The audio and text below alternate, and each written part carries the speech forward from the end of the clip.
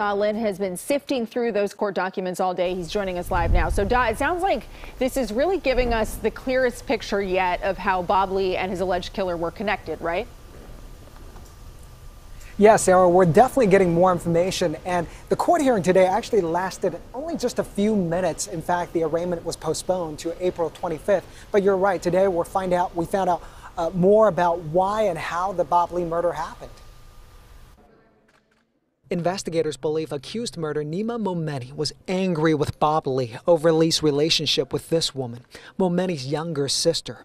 Her name is Khazar Momeni. She's married to San Francisco plastic surgeon Dr. Dino Elyassnia, seen on the right.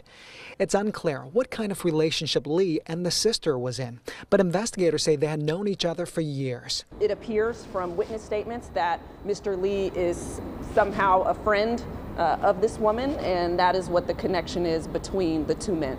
In newly released court papers, investigators say tech executive Bob Lee, a close friend identified only as witness one, and Khazar Momeni were drinking at an apartment on the 1500 block of Mission Street in the afternoon of April 3rd.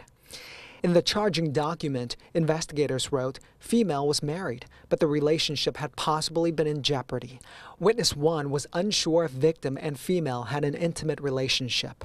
Investigators say a few hours later, Bob Lee and his friend, Witness 1, went to Lee's hotel.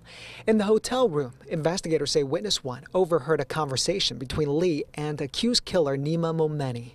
The defendant was questioning Lee if his sister was doing drugs or anything inappropriate. Witness 1 said that victim had to reassure defendant nothing inappropriate had happened. There appeared to be some discussion about whether or not she had used drugs um, between the two men, uh, but at this time, that's all that we've released. Investigators say the sister lives in a condo at the Millennium Tower. They say surveillance footage showed Lee entering the tower on April 4th, 12:39 a.m. Investigators say the defendant and his sister were already at the condo. They say surveillance footage showed the defendant and Lee leaving the Millennium Tower in the defendant's white BMW Z4 at 2:03 a.m. Investigators say Momeni drove Lee to the 400 block of Main Street, where the two got out of the car and talked on the sidewalk for about five minutes. Investigators believe Momeni ended the conversation by stabbing Lee three times, once in the hip and twice in the chest. Investigators say they recovered a bloody silver kitchen knife with a four inch blade. Investigators say surveillance footage in the area recorded an injured Lee walking and looking for help as the defendant sped away in his BMW. Police found Bob Lee unresponsive and lying in the street at around 2:35 a.m. He died a short time later at SF General. Investigators say at one point the defendant's sister texted Lee, just wanted to make sure you're doing okay, because I know Nima came way down hard on you. And thank you for being such a classy man, handling it with class.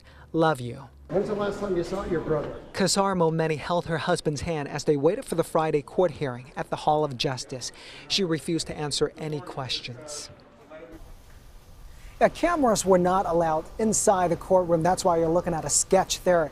It actually shows at one point uh, the family members actually using their hands to, to make that heart symbol to show their support for the defendant Momeni. And Momeni actually replied with his using his hands to gesture the heart symbol back to the family members. And that's what you are looking there. Now, uh, Momeni remains in custody, and we understand if convicted, Sarah, he is facing 26 years to life in prison. Wow, just um, a really fascinating story that lays out there. So, Da, I know those court documents also uh, lay out another exchange with Bob Lee's friend uh, and Khazar Momeni, the suspect's sister. That's correct. Uh, that witness, actually, a close friend, was asking, Hey, have you seen Bob? I haven't seen him all morning. And this was the morning of April 4th. And apparently, according to investigators in that charging document, the sister texted back saying that Bob Bob Lee was only at her condo for a sec. Obviously, we're learning from the timestamp uh, that was not correct. Mm. All right, Da, thank you so much.